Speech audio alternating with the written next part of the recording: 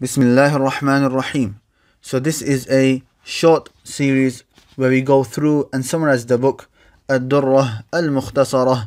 Mahasin al-Din al-Islami.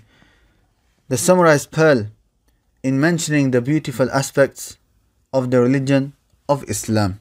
Written by Abdul Rahman ibn Nasir al-Sa'di, born in the year 307 after Hijrah and passed away in the year 376 after Hijrah.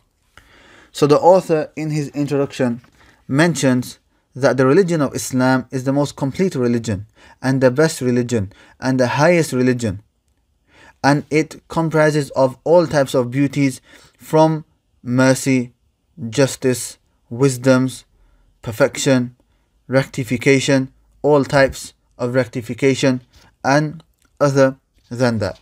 Then he mentions four benefits of studying this knowledge, meaning the knowledge about the beauties of the religion of Islam. So the first benefit that he mentions is that busying yourself with this topic, which is the most noble of topics, is from the greatest and most noble of righteous deeds that one can do.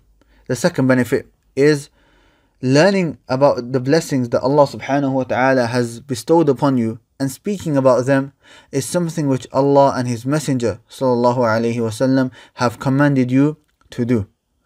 So that when you speak about the blessings of Allah, you are thanking Allah subhanahu wa ta'ala. And you will supplicate to Allah subhanahu wa ta'ala to increase you in this blessing. The third benefit, the author mentions that people differ when it comes to the level of their belief. So the more a person learns about this religion, the more his the more complete he will become in his belief and the more stronger he will become in his certainty of this religion. And the last and fourth or the fourth and last benefit that the author mentions is that this is from the greatest ways of giving da'wah and calling non-Muslims to Islam because they will see how beautiful this Islam is and not how it is portrayed in the media and they will learn that Islam never ever contradicts the sound intellect or the natural disposition that we have been created upon.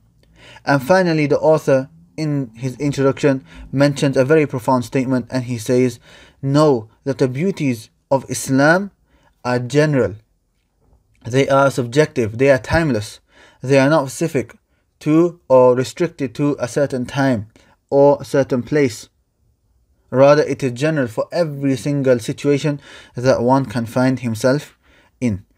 And then the author he finishes off by saying, and with this we ask Allah subhanahu wa ta'ala to help us and to guide us further and to open doors for pearls and for rectification of ourselves and for us to be upright. And with this, we will start the book.